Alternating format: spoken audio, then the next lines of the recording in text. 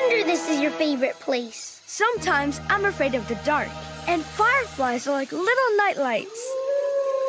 Ghosts! Mice! Ghost mice! Wait, that could be someone in trouble. We better check.